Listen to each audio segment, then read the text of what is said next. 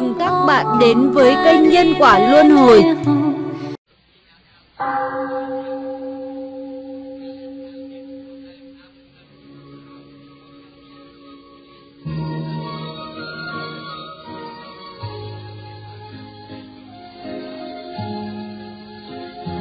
Tu hành có bốn giai đoạn.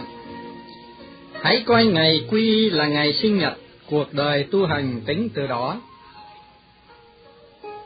Một năm có bốn mùa, xuân, hạ, thu, đông, đó là chuyện hiển nhiên ai cũng biết. Nhưng quý vị có biết chăng là đời người cũng phân thành bốn giai đoạn, sinh, lão, bệnh, tử. Là người ai ai cũng chết, nên mình phải tính chuyện về sau mà lo tu đạo. Tu hành cũng có bốn giai đoạn, tức là học, hành, thành và liễu. Con người từ lúc mới ra đời đến lúc hai mươi tuổi là khoảng thời gian học đạo. Trong thời kỳ này mình phải học hỏi, học Phật Pháp cho giỏi, cũng giống như là trong sách đại học có nói, tại minh minh đức, nghĩa là làm trói người cái đức sáng suốt, đó là lúc mình huấn luyện đức tính của mình ngày càng thêm trong sáng. Từ hai mươi 21 tuổi cho đến bốn mươi là khoảng thời gian hành đạo. Đây là lúc mình áp dụng cái sở học, đem chỗ học hỏi và sự hiểu biết khi trước của mình ta phổ độ chúng sinh, uông phò thế tục. Như trong sách đại học có viết, tại thân dân, nghĩa là làm đổi mới đời dân, từ tuổi 41 cho đến tuổi 60 gọi là thời gian thành đạo. Trong sách đại học có ghi rằng chỉ ư trí thiện, nghĩa là ngừng lại ở nơi tốt đẹp nhất, khổng tử giảng về trí thiện, nhưng không được triệt để lắm, bởi vì chưa đạt tới cảnh giới chân không niết bàn, nên chưa phải là cứu cánh. Vì vậy ở giai đoạn chót chúng ta cần phải liễu đạo. Sau khi thành đạo rồi, mình trở về cảnh giới niết bàn. Nếu so sánh với ba cương lĩnh của nho giáo, minh đức, thân dân, chỉ ư trí thiện, thì Phật lý tu hành viên dung hơn nhiều nữa.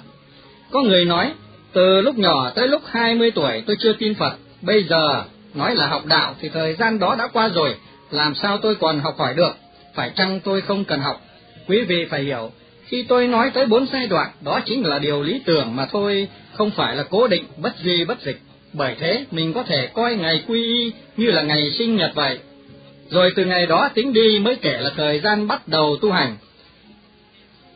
Lại có người nói, tôi đã quy y được bốn năm rồi mà sao chưa học được một chút Phật Pháp gì cả.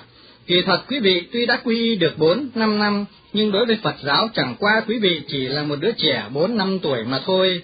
Bởi thế, quý vị đừng lo sầu rằng mình không làm nên việc gì cả.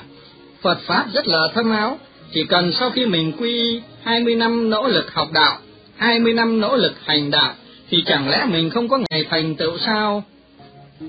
Lại có một ông lão cảm khái thở dài mà than rằng, hiện nay tôi đã tám mươi tuổi rồi, e rằng không còn cơ hội để có được hai mươi năm, rồi thêm hai mươi năm nữa để mà hạ thủ công phu. Đúng vậy, thời gian giảm khứ mệnh quang di, tức là ngày tháng trôi đi mạng giảm dần. Ngày tháng thì không còn nhiều đâu, thật đó. Nếu mình đem thời gian làm rút lại mà tính, cứ hai tháng tu đạo, hai tháng hành đạo như vậy, mà suy rộng thì chỉ cần mình chân tâm với quyết chí thì dù già cũng như kẻ thanh niên, tinh tấn dũng mãnh từng bước từng bước mà tu tập, thì lo gì không có ngày thành đạt. Hãy nỗ lực lên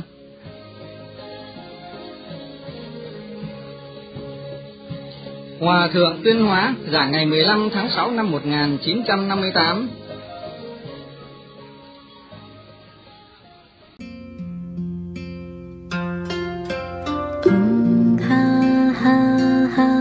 问三摩地所。